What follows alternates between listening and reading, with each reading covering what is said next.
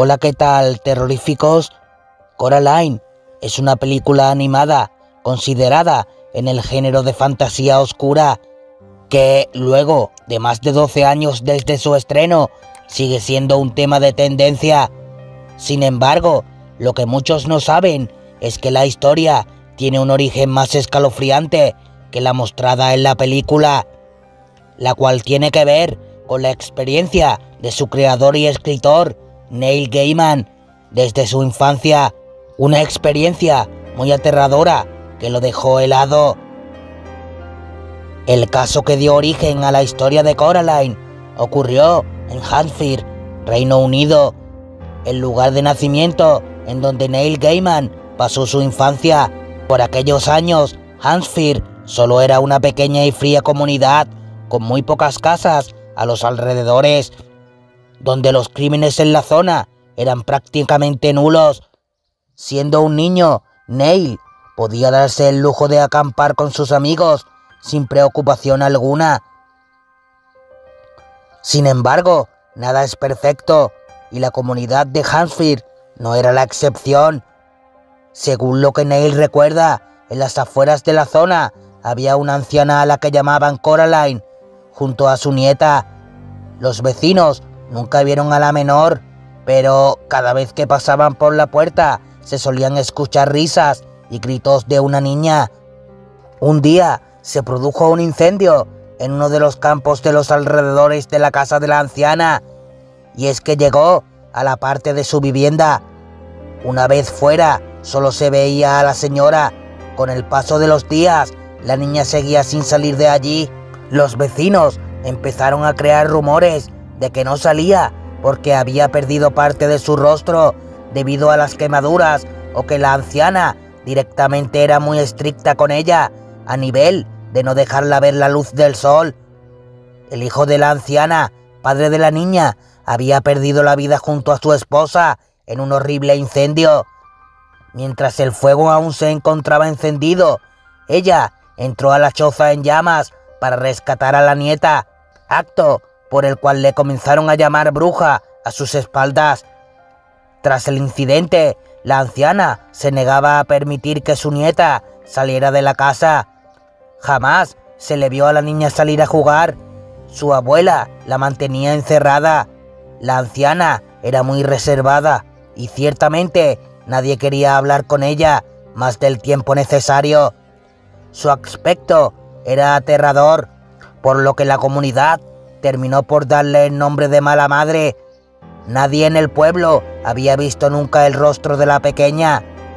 Solo de vez en cuando se le escuchaba reír, gritar y llorar, o se podía observar la silueta de una pequeña jugando en los columpios. Entre los niños de la comunidad, ver el rostro de la pequeña se había convertido en un tremendo desafío. Entre los rumores se decía que la niña había perdido el rostro en el incendio. La anciana había enloquecido y quería mantenerla solo para ella. El misterio despertó la curiosidad de varios niños del pueblo, quienes, en un reto de valentía, decidieron conocer a la misteriosa niña. Es por eso que Neil, junto con su grupo de amigos, se propusieron ir a acampar a una zona cercana a la casa de la anciana, con la finalidad de esperar el anochecer y acercarse hacia una de las ventanas de la casa e intentar conocer a la niña misteriosa. Vieron a la anciana salir del pueblo con una canasta para la compra y según Neil, uno de sus amigos, tuvo la idea de adentrarse en la vivienda. Aunque les asustaba la posibilidad de meterse en problemas con sus padres, finalmente todos aceptaron tomar el desafío que se les presentaba la casa de la anciana tenía un particular olor que los objetos antiguos poseen. Se encontraron pequeñas prendas que confirmaban la existencia de la niña, por lo que los niños intentaron encontrar la habitación sin ser descubiertos. Por desgracia de ellos, lo hicieron.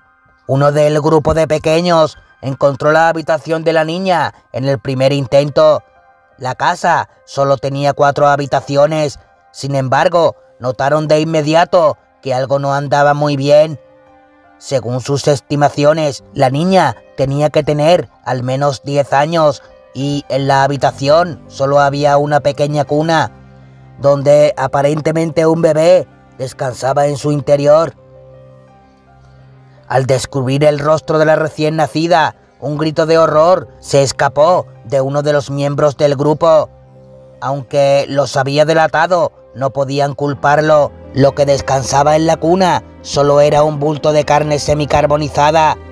De aquel incendio, la anciana lo único que pudo extraer fue un cuerpo severamente dañado y sin vida alguna, al cual le había cosido botones en donde deberían estar sus ojos, además de una serie de costuras que aparentaban ser la boca. Los gritos de los pequeños despertaron a varios habitantes del pueblo. Los niños huyeron despavoridos de la casa y contaron lo que habían visto a sus padres. Según las historias de los vecinos, se creía que la mujer nunca superó la muerte de su nieta y de alguna manera la quería seguir teniendo con ella.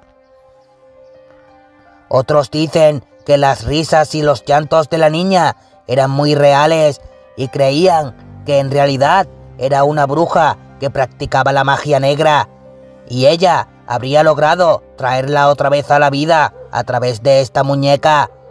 El pueblo fue descubriendo este secreto y finalmente la anciana fue recluida en un centro de rehabilitación mental, donde permaneció hasta el día de su muerte, ya que tras realizar una serie de investigaciones se descubrió que en otra de las habitaciones había cientos de libros con bastante información sobre cada niño del pueblo, además de artículos relacionados a la brujería. Pero lo más aterrador fue que en el suelo de la casa encontraron los restos de una pequeña que estaba desaparecida hace poco. Al parecer, la anciana intentaba transferir el espíritu que creía tener al cuerpo de una niña real.